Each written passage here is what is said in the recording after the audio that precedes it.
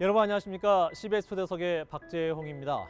한국 사회 요즘 눈부신 발전을 했습니다. 하지만 자살률 1위라는 큰 아픔을 갖고 있기도 하죠. 오늘 이 시간에는요, 이러한 문제의식을 바탕으로 한국 교회와 함께 자살 예방에 앞장서고 있는 한 분을 만나보겠습니다.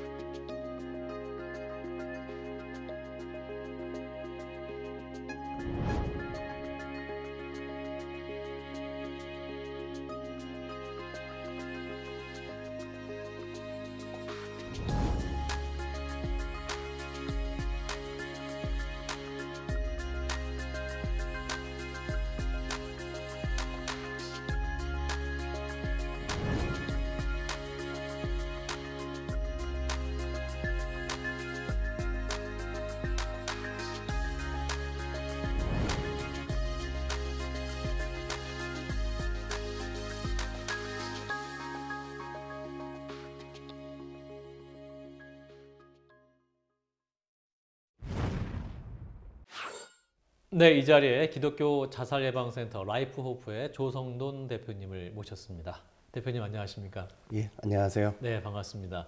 네, 제가 정말 안타까운 수치를 봤습니다. 우리나라가 OECD 국가 중에 자살률 1위라고 합니다. 구체적인 상황이 어떻게 됩니까?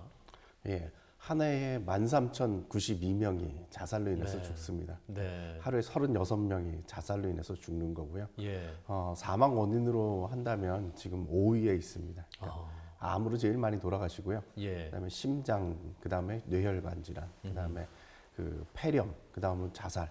이 밑으로 뭐 당뇨병도 있고요. 예, 간 질환이나 밑으로 내려가면 어, 교통사고 같은 경우들도 있습니다. 네. 우리나라에서는 한 해에 어, 뭐 쉽게 표현을 한다면 네. 일개 사단이 자살로 인해서 죽는 거다 이렇게 볼 수가 있는 것이죠. 예. 예. 그리고 저는 참 이상한 나라라고 저는 생각을 하는데요. 예, 그건 뭐냐면 어, 자살이라고 하는 자기 스스로 목숨을 끊는다라고 하는 것이 어떤 병에 걸려 죽거나 어떤 사고에 의해서 죽는 것보다 네. 훨씬 더 많이 있다라는 것이죠. 네. 어, 아까 말씀해 주신 대로 OECD에서 이제 자살률로 1위를 하고 있는데 벌써 이제 13년째 예, 1위를 하고 있습니다. 13년째입니까? 예. 아. 근데 제가 볼 때는 앞으로도 상당 기간 이게 유지될 것 같습니다. 왜냐하면 음. 2등 하는 나라하고 너무 격차가 많습니다. 2등은 어디입니까? 어, 일본하고 헝가리가 2등을 하고 있는데 네. 우리나라가 지금 28명 이렇게 나가고 있는데요.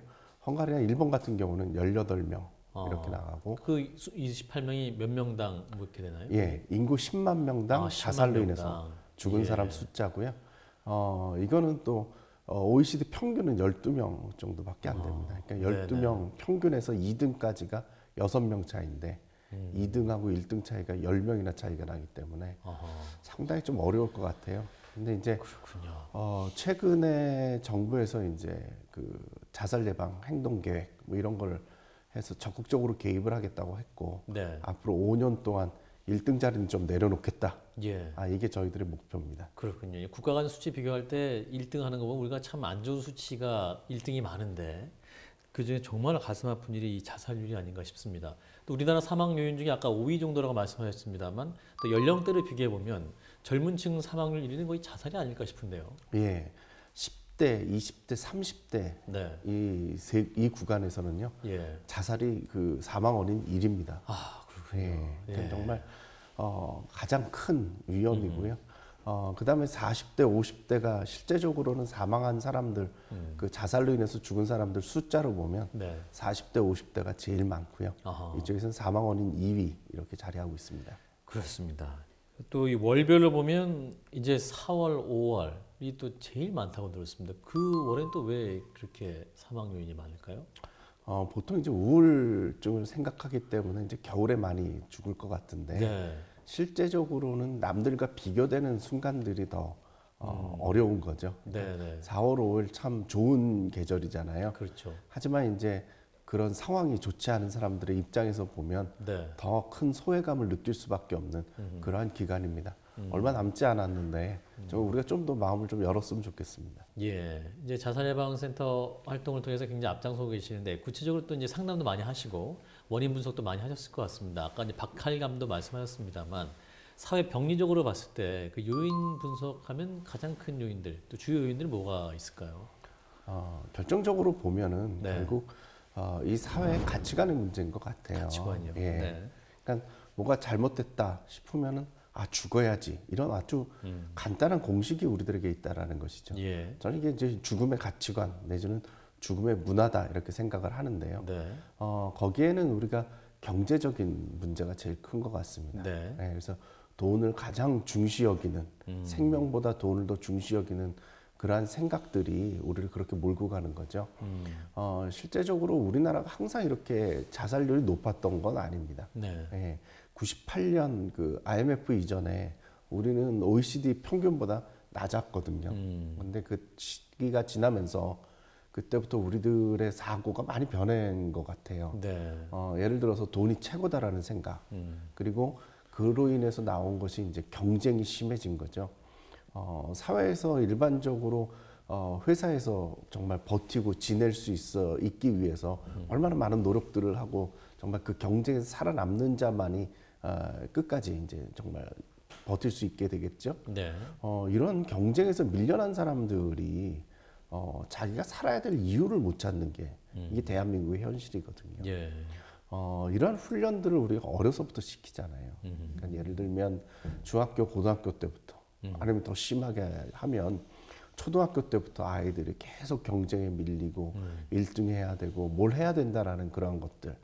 그러면 결론적으로 거기서 밀려난 사람들의 입장은 우리가 고려를 안 해줬다라는 것이죠. 네. 어, 그런 훈련들 때문에 정말 사람들이 사는 게 힘들다라는 생각들을 많이 하시는 것 같아요. 예, 사는 게 힘들다. 네. 이한 말씀이 굉장히 좀 피부에 와닿네요.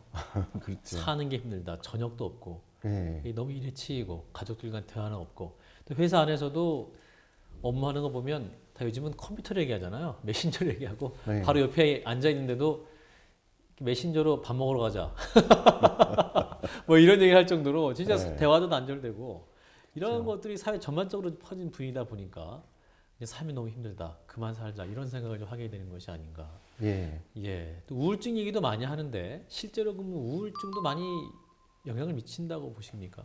어, 그럼요. 우울증이라는 것도 상당히 큰 영향력이죠. 예. 근데 이제 사회 전반적인 문제들의 결론이 우울증으로 가 있기 가 있다라는 것이죠. 네. 그러니까 실제적으로 자살하는 사람 보면 우울증으로 인해서 자살하는 사람이 한 60% 정도 돼요. 음. 근데 거기까지 왜 갔느냐를 살펴보면 네. 사회 전체적인 이 분위기가 아, 그렇게 몰아가고 있다라는 것이죠. 예, 그렇군요. 되게 그 사례를 보면 그, 서- 그 선택을 하기 전에 또 마지막으로 연락하는 사람도 있다는 얘기도 있고, 예, 그래서 마지막에 또 어떤 손을 잡아주는 그러한 노력도 굉장히 필요한 것 같습니다. 그리고 또 많은 게 필요한 게 아니라 괜찮니? 괜찮니? 이 한마디가 큰 힘이 된다고 해요. 실제로 상담해 보시면 그렇습니까? 예. 그 저희도 이제 이렇게 지내다 보면 네. 괜찮니 인사하는 것 상당히 중요하게 여기거든요. 음, 아, 그러니까 우리가 일상 가운데 사람들이 다들 숨기고 살고 있어요. 네. 실제적으로 우리 가운데서 한 40% 정도는 어, 자살의 위험 가운데 있다고 저는 생각을 해요. 보통 사람 대부분이 예. 한 40% 정도가 어, 예, 그렇습니다. 실제적으로 긴박한 사람들이 한 20% 정도 되고 어느 정도 상황 가운데 있는 사람들이 한 40% 정도 될 거라고 저는 생각을 하는데 네. 우리들이 주변에서 괜찮니라고 물어볼 때그 음. 사람들이 자기를 내어 놓을 수 있거든요. 예, 그때 같이 진지하게 얘기해 주는 게 상당히 중요합니다. 음. 어, 우리 심정 자체가 네. 괜찮니 물었는데 아니 실은 힘들어. 이러면 다. 도망가요. 어, 그러니까요. 예, 네. 그렇게 진지하게 얘기를 안 해주고 음. 그때 이제 아 너 힘드니? 좀 더 얘기를 더 나아간다면 너 죽고 싶은 거 아니니? 음. 자살하려고 생각하는 거 아니야? 음. 어, 이런 말을 좀 해줘야 됩니다. 어. 그러니까 우리가 좀 두렵거든요. 괜히 이런 말 해가지고 자극하는 거 아닐까. 음. 근데 실제적으로는 이분들 입장에서는 항상 말을 할 때마다 농담으로 넘기고 음. 회피하고 이런 사람들을 봤는데 어떤 사람은 진지하게 음. 어, 이렇게 다가오잖아요. 네. 자기를 내어놓을 수 있거든요. 음. 음, 그래서 이런 훈련도 좀 필요하고요. 음. 예. 그리고 제가 이렇게 지내다 보면 정말 많이 만나요.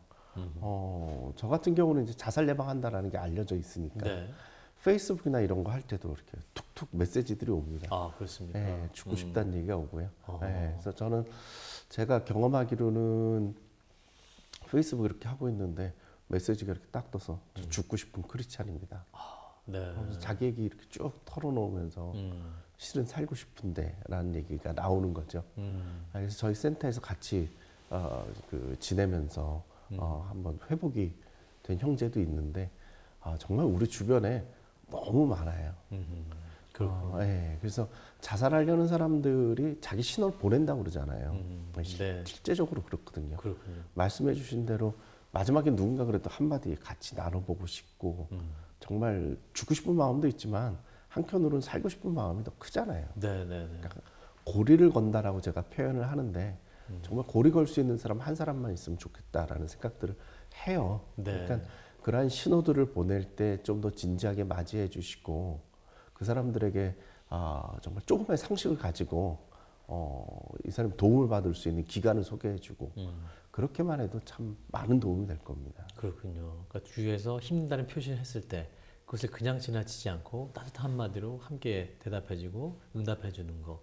또 우리 크리스찬들이 해야 될 일이 아닌가 싶습니다. 잠깐 이제 크리스찬들에 대해서 말씀하셨습니다만 우리 이제 기독교인들도 사실은 마음의 기쁨과 평안이 넘치지만 반면 또 이 자살 충동을 많이 느끼시고 또 실제로 죽음을 선택한 분들 꽤 되잖아요. 이 문제에 대해서 우리도 이제 한국 교회 안에서 더 열고 말을 해야 될 것 같습니다.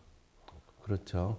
그러니까 어, 이런 자살의 위험이 이 사회에 이렇게 큰데 음. 우리 크리스찬만 피해간다? 그건 뭐 상상할 수 없는 일입니다. 네. 아, 제가 여러 가지 설문조사를 해봤는데요. 네. 약간의 차이는 있습니다. 음. 그래도 일반적인 사회에서 자살 생각하는 사람들보다는 좀 적지만 없진 않다라는 거죠. 예. 네, 그래서 상당히 아직 그 교회 안에도 자살을 생각하는 사람들이 많고요. 그게 실제적인 현실이고요. 네. 어, 근데 우리가 아직 대비가 없어요. 음. 그냥 우리가 그냥 어, 믿음이 있으면 자살 안 해. 어, 이런 좀 망상, 음. 오해 같은 것들이 있거든요. 네. 실제적으로 어, 믿음이 있어도 자살을 하고 음. 신앙이 좋아도 자살을 합니다. 음. 이게 아주 병같이 흘러가는 것이거든요. 네. 그래서 우리가 좀 대비를 했으면 좋겠어요. 특히 아, 우리 소그룹 리더들, 음. 구역장 이런 분들한테 좀 교육을 좀 시켰으면 좋겠어요. 네. 네, 저는 이게 아주 중요한 그제 소망인데 네. 어, 이런 분들이 훈련을 받아서 정말 주변에 어려움을 겪고 있는 사람들을 실제적으로 도와줄 수 있는 그런 것들을 좀 훈련 받으셨으면 좋겠고요. 음. 그걸 통해서 좀 더 실질적인 도움을 줄 수 있으면 좋겠고 더 나아가서는 교회가 지역 사회에서 이러한 역할들을 해주셨으면 좋겠어요. 근데 네. 정말 중요하게 제가 생각하는 건 뭐냐 하면요. 자살한 사람들 장례 꼭 치러주시면 좋겠어요. 아, 장례식. 네. 네, 네. 그러니까 구원 못 받았다. 뭐 이런 얘기들 하시면서 교회에서 논란이 일어나가지고 장례를 못 치른 사람들 참 많습니다. 아, 예, 그렇군요. 그리고 네. 어, 교회에서 그런 의향이 있어도 본인들이 숨기는 경우도 있고 음. 교회가 또 그렇게 숨기고 얘기를 하라고 하는 경우들도 있고요. 아, 그런가요? 그래서 상처받은 사람들이 너무 많아요. 음. 네, 그래서 유가족들 입장에서 보면 어, 가장 그 하나님의 위로를 받아야 되고 그다음에 교회가 정말 도움이 필요한 때인데 어, 그때 교회가 분란이 일어나거든요. 음. 장례를 치러줄 것이냐 말 것이냐. 네. 네. 그러면 유가족들이 상처를 받고 음. 교회를 떠나고 심지어 이제 하나님을 떠나게 되는 것이죠. 네. 어, 유가족들이 그 자살의 위험이 제일 높습니다. 음. 예, 비슷한 환경이고 음. 비슷한 성격이기 때문에 음. 그때 이 가족 중에 누가 자살을 하면 그 충격 때문에 더 큰 위험에 빠지게 되거든요. 근데 교회가 그때를 외면한다라고 한다면 아 이건 정말 성도의 공동체가 아니지 않나 그런 생각이 들어요. 네. 우는 자와 함께 울라고 했기 때문에 예. 정말 가장 큰 슬픔을 갖고 있는 유족들과도 함께하고 또 그분들 아픔을 더 적극적으로 치료하는데 교회가 나서야 된다 이런 말씀을 해주신 것 같습니다. 예, 이 교회 안에서 그래서 또 사망자 유족들을 위한 예배도 필요하다 이런 지적이 있습니다만 실제로 많이 해보셨을 것 같습니다, 목사님. 예. 어, 유가족들이 그 장례를 못 치르니까요. 네. 이 과정을 잃어버린 거예요. 음, 그러니까 장례를 치른다라는 거는 돌아가신 분하고 이 관계를 정리를 해나가는 음. 관, 과정인데 네. 장례를 안 치러주니까 이걸 잃어버린 거죠. 그래서 유가족들의 그런 아픔을 제가 듣고 어, 처음에는 일년에한 번씩 위로 예배를 드렸어요. 네, 그러니까 장례를 못 치르신 분들, 그러니까 장례를 우리가 새로 치를 수는 없지만 음. 아, 그래도 위로하는 마음으로 하나님의 위로를 좀 전하고 싶어서 음. 위로 예배를 했고요. 요즘은 저희들이 한 달에 한 번씩 아, 매월 마지막 주 수요일 네. 그 수요 예배 저녁 예배 때 함께 모여서 예배 드리고 있습니다. 아, 네. 그래서 서로 좀 보듬을 수 있고 음. 어, 유가족들끼리 그리고 말씀을 통해서 또 회복도 하고 음. 어, 그렇게 함께 지금 모임을 갖고 있습니다. 예, 실제로 예배 드리신 성도님들은 어떤 말씀하시던가요? 그 본인 소속 교회에서 주지 받지 못했던 네, 그런 섬김을 통해서 많이 좀 회복이 되셨을 것 같습니다만. 정말 고마워하세요. 아, 네. 정말 고마워하세요. 그러니까 음, 자녀를 잃은 사람들, 음. 뭐 남편을 잃은 사람들, 아내를 잃은 사람들, 부모님을 잃은 사람들이 정말 그 장례도 못 치르고 그냥 보냈던 그 시절이 있기 때문에 네. 너무 고마워하시고 특히 자기들을 교회에서 인정해주고 품어줬다라는 사실 음. 너무 고마워하세요. 네. 너무 고마워. 네. 아, 그러니까 그런 거 볼 때마다 제가 참 마음이 아파요. 예, 정말 위로를 해줘야 될 텐데 음. 저분들을 저렇게 교회가 내쳤다라는 것이 너무 힘들어요. 네. 그래서 같이 오셔가지고 또 예배 드리면서 회복하시고 같은 아픔을 가진 사람들끼리 또 이야기를 나누면서 네. 서로도 회복하고 어, 예, 음. 그런 것들이 참 보람된 일이라고 저는 개인적으로 생각을 하고요. 네. 어, 그리고 이런 일을 통해서 그 유가족들 입장에서는요, 어, 사회로 복귀하는 과정이에요. 음.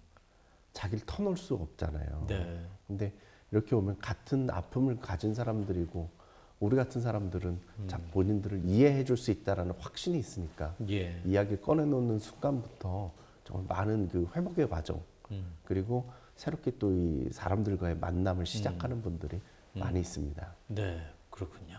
왜 그럼 개 교회에서는 그렇게 그런 분들을 잘 품어주지 못하고 또 갈등의 소지가 될까요? 결국 이제 구원의 문제죠. 네. 예. 우리가 일반적으로 통설적으로 우리가 이해하는 것이 자살한 사람은 지옥 간다 이렇게 음. 이해를 하고 있잖아요. 네. 어, 이거는 정말 통설이라고 이야기를 하는 거죠. 성경적인 명확한 근거가 없는 거죠. 그럼요. 네. 예. 성경엔 그렇게 나와 있지 않고요.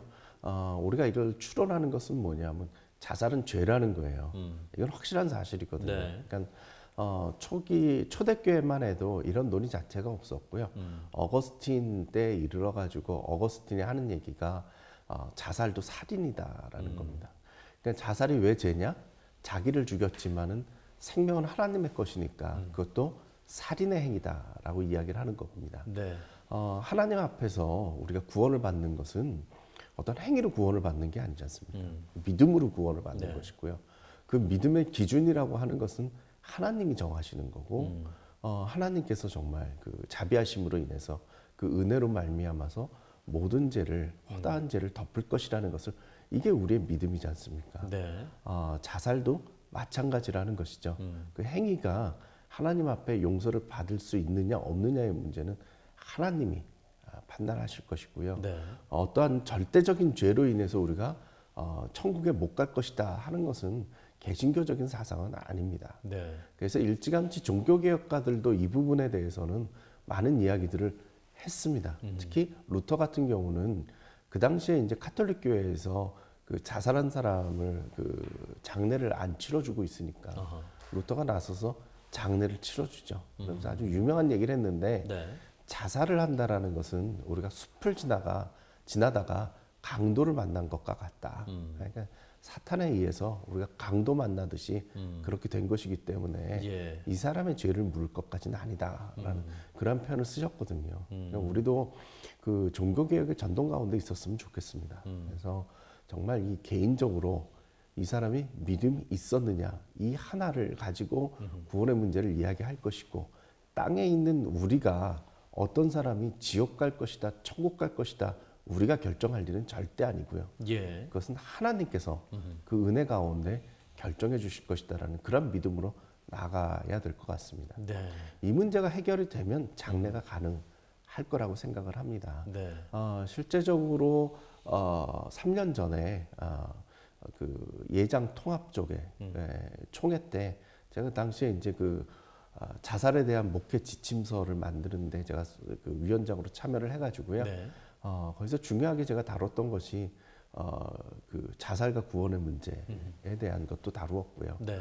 그리고 실제적으로 자살한 사람에 대한 장례 예식서를 거기다 넣었습니다. 음. 어, 장신대 교수님 통해서 좋은 그 예식서가 마련이 됐고요. 음. 그 안에 보면은 아, 그 신도들 중에 음. 자살한 사람이 있으면 가족이 아, 알리고 싶지 않다라고 하는 음. 경우, 알려도 된다고 하는 경우, 또는 심지어는 불신자가 자살했을 때 그 장례를 어떻게 치러주는지에 대한 음. 예식서와 거기에 맞는 설교문까지 아주 잘 들어 있습니다. 음. 이 말은 다시 말하면 총회가 공식적으로 자살한 사람에 대한 장례가 아, 가능하다라는 가능하다. 것을 인정해 준 것이죠. 네. 근데 그런 부분에서 더 홍보도 필요하고 교육도 필요할 것 같습니다. 이제 조금 전 라이프 오프에서 했던 일 좀 몇 가지 말씀하셨는데 이런 교육이라든지 뭐 구체적으로 또 어떤 일을 하시는지 좀 말씀해 주시면. 예. 어, 저희는 기본적으로 이 자살이 우리나라에 많은 거는 이 죽음의 문화가 이 땅을 지배하기 때문이라고 저는 생각을 네. 합니다. 결국 생명의 문화를 가지고 이 죽음의 문화를 이겨야죠. 음. 예. 그래서 저는 어, 뭐 교회에서 이야기할 때 저는 이렇게 제 신앙 고백으로 이야기를 하는데요. 우리나라가 이게 자살이 많은 이유는 이 죽음의 영이 지배하는 것이다라고 저는 음. 얘기를 합니다. 네. 우리가 그 예수 그리스도의 이 생명의 영을 가지고 있는 우리 한국 교회가 음. 이 죽음의 영을 이기고 자살을 극복할 수 있도록 만들어 줘야 된다. 음. 그게 교회의 사명이라고 저는 생각을 하고요. 네. 어, 그러한 관점에서 저희들은 많은 활동을 펼치고 있는데요. 어, 올해부터는 이제 전국적으로 펼치고 있는 것이 어, life walking 그래서 생명보듬 페스티벌을 펼치고 있습니다. 네. 어, 서울뿐만이 아니고 이제 파주, 하남, 안양, 천안 지금 확정이 됐고요. 음. 이제 부산과 순천 지역도 저희들이 준비 중인데 네. 전국적으로 어, 생명의 축제를 네. 열고 함께 걸으면서 죽음과 삶에 대한 이야기를 나누고 음. 어떻게 생명의 문화를 만들 것인가 함께 나누는 아주 축제의 기간을 저희들이 만들어 나가고 있습니다. 네. 어, 또 저희들이 중요하게 여기는 것은 중고등학교에 가서 자살 예방 교육을 시키는 겁니다. 음. 어, 저희들이 그 생명보듬 교육이라는 것을 마련했고 어, 이것이 그 국가에서 인정하는 프로그램이 됐습니다. 그래서 어, 일반 중고등학교, 뭐 공립학교까지 다 합쳐서 일반 중고등학교에 가서 이 생명보듬 교육을 시키고 있습니다. 네. 어, 정말 제가 한국교회 하나가지 정말 부탁드리고 싶은 것이 있다면 아, 이 교육이 이루어질 수 있도록 좀 후원을 좀 해주셨으면 좋겠어요. 아, 그렇군요. 네. 어떤 후원이 필요한가요? 어, 참 좀 이상한 경우인데 네. 어, 우리나라 중고등학교에 자살 예방 교육, 생명 교육을 음. 아, 1년에 두 번, 두 시간씩 시키게 돼 있어요. 네, 네. 근데 이제 예산 지원은 지금 없는 상황이거든요. 아, 네. 그러니까 정말 교육은 하라고 했는데 교육이 이루어질 수 있는 상황은 아니에요. 음. 그래서 교회들이 한 교회가 지역에 있는 한 학교의 교육을 좀 지원해 주셨으면 좋겠어요. 음, 네. 그러면은 아 이게 한국 교회가 정말 이 땅에 생명 살리는 일을 했다라는 음. 것을 좀 확인할 수 있고 교회가 지역의 리더십을 가질 수 있는 기회라고 전 생각을 하고 있고요. 네. 어, 또 저희들이 하고 있는 것은 어, 괜찮니 캠페인 하는 겁니다. 음. 예, 이거는 어, 중앙자살예방센터나 보건복지부랑 같이 활동을 하고 있는 것인데요. 음. 어, 이런 거 통해 가지고 전 국민이 서로 안부 물어 주는 네. 그래서 좀 더 밝은 사회를 만들어가는 그런 일들을 하고 있고 이걸 위해서 플래시몹 이런 것도 하고 있고요. 네. 예, 아, 좀 캠페인 사업을 좀 재밌게 좀 펼쳐보려고 어, 노력 중에 있습니다. 예. 아, 그리고 아까 말씀드린 대로 유가족들을 위한 프로그램들을 저희들이 활발하게 진행하고 있고 네. 특히 크리스찬들이 정말 이곳에 와서 같이 위로를 받으면서 어, 그 아픔을 서로 나누고 있습니다. 네. 근데 목사님께서 이제 실천신학대학교 교수님이시기도 한데 어떻게 이 자살 예방 교육에 또 앞장서게 되셨는지 그게 좀 궁금합니다. 예. 어, 제가 이게 자살 예방 이렇게 음. 하고 있으면 사람들이 물어봐요. 그러니까 혹시 죽을 마음이 있었느냐? 아 목사님께. 예. 네. 그뭐 사연이 있으니까 그렇지 음, 않냐? 네, 네. 아니면 가족 가운데 무슨 자살한 사람이 있냐? 당신 유가족이니까 이런 거 하는 거 아니냐? 네, 네. 실은 제가 그 성격이 너무 밝아가지고 네, 네. 예. 어, 한 번도 그런 생각을 해본 적이 없어요. 네, 네. 아, 가족 가운데도 음. 그런 사람이 없고요. 음, 어, 근데 제가 이 일을 하는 이유는 음. 어, 제가 이제 목회 사회학이라고 이제 사회학 쪽으로 하는데 네, 전공이. 예. 네. 제가 한국에 와가지고 무슨 주제를 가지고 우리가 이야기를 해야 되고 음. 교회가 이 사회를 위해서 뭘 할 수 있을까를 살펴보니까 자살 문제가 너무 심각한 거죠. 네. 근데 교회가 나서면 자살 문제는 해결할 수 있을 것 같더라고요. 음. 그래서 어, 논문을 그런 쪽으로 쓰고 공부를 하고 이랬거든요. 네. 네. 근데 보통 이제 사회학이라는 것이 사회에 이제 무슨 문제 제기를 하는 거예요. 아 이런 게 문제예요. 음. 그러면 그 전문가들이 나서서 그 문제를 이제 받아줘야 되거든요. 네. 근데 아무도 안 나서더라고요. 아. 상담하는 분들 입장에서도 어, 이거 중증 환자거든요. 음. 잘안 낫는 음. 사람들이 돼 진을 빼야 되는 거고 음. 교회들 입장에서 보면은 어, 이 자살과 구원의 문제 때문에 논란에 낄 수가 있기 음. 때문에 사람들이 잘 참여를 안 해요. 특히 어, 많은 분들이 제가 이런 자살 예방 이런 거 하면 어, 뭐 핫이슈다 뭐 이러시는데 음. 실제적으로는 교회들이 이러한 뭐 죽는 문제, 뭐 어두운 문제 이런 거에 좀 관여하고 싶어 하지를 않거든요. 네, 그래서 많은 그 참여라는 거는 기대할 수가 없었어요. 그래서 그러다 보니까 제가 아, 마음이 아픈 거예요. 그러니까 네. 자살 연구를 하다 보니까 자살을 하려다가 살아나신 분들에 대한 인터뷰도 많이 해봤고 네. 그리고 유가족들에 대한 인터뷰도 해보고 하니까 어, 이 사람들 도와줘야 되는데 생각이 음. 전 들고 특히 마음이 아프더라고요. 음. 어, 교회가 이분들을 못 품었구나 하는 그런 음. 아픔에 대한 그런 마음이 있었고요. 특히 아 이거 하나님이 보시면 어떨까? 음. 이게 내 자녀인데, 예. 어, 내 새끼인데 음. 죽겠다고 저러고 있고 정말 막 옥상에 올라가서 서성거리고 있고 이런 네. 내 자녀를 볼 때 그 하나님 마음이 어떨까 이런 생각이 많이 미쳤어요. 음. 그래서 저는 계속 이 일을 하게 된 거죠. 음. 처음엔 공부를 해서 문제 제기만 하려고 하다가 이분들 만나면서 조금 더 조금 더 하다가 이제 이제 단체를 세워서 음. 좀더 적극적으로 해가지고요. 제가 이제 직업은 교수고 이건 자원봉사로 해야 되는데 네. 이게 힘드시군요. 더 이게 더 바쁜 거. 그래도 이 말 그대로 실천 신학을 하고 계시네요. 예, 그나마 그래도 그게 용서받는 학교에서 좀 저를 보면 네. 아 좀 이상하게 생각할 것 같아요. 예. 월급 여기서 받고 다이또 학교에서 귀하게 생각하실 거로 좀 믿고 있습니다. 네. 자 오늘 목사님 대표님 말씀 드리면서 주위에 힘들어하는 사람 정말 돌아봐야겠구나 이런 생각을 해보게 됩니다. 앞으로 지금 활동하신 지한 5년여가 되셨는데 앞으로 또 어떤 기도 제목을 갖고 계시는지 한국 교회를 통해서 또 한국 사회도 많은 메시지를 전하셔야 될 것 같습니다. 예, 어, 정부에서도 종교계와 함께 이 자살 예방을 펼쳐야겠다는 생각을 갖고 있습니다. 네. 앞으로도 그렇게 될 거라고 저는 생각을 하고 있고요. 참 우리 교회가 참 귀합니다. 아, 이런 중요한 가치를 함께 얘기할 수 있고 이런 좋은 가치라면 함께 하겠다는 마음들이 있고 행동할 수 있거든요. 이런 것들이 사회를 바꿀 겁니다. 어, 생명의 가치를 우리가 좀 회복시키는 일에 앞장서야 되겠고요. 음, 이런 생명의 문화를 만들어 가는데 우리가 앞장섰으면 좋겠습니다. 음, 그래서 정말 시간이 지난 다음에 역사를 되돌아보면서 교회 덕분에 이 땅이 살게 됐다라는 얘기가 좀 나타났으면 좋겠습니다. 네. 이 교회 덕분에 정말 생명의 가치가 살아났다. 음. 네. 또 이 방송을 보시면서 또 많이 힘든 분도 계실 것 같습니다. 그분들 위해서도 한 말씀 좀 전해주시면서 또 오늘 시간을 마치도록 하죠. 어, 정말 어려운 때는 항상 있습니다. 어, 어렸을 때는 어렸을 때로, 중학생 중학생, 고등학생 고등학생대로 인생이 지나면서 다 힘든 때인 것 같아요. 근데 지나고 나면 또 살게 되고 살만 하거든요. 그때를 잘 버티시길 바랍니다. 음. 생명은 무엇과도 바꿀 수 없는 정말 귀중한 겁니다. 음, 네.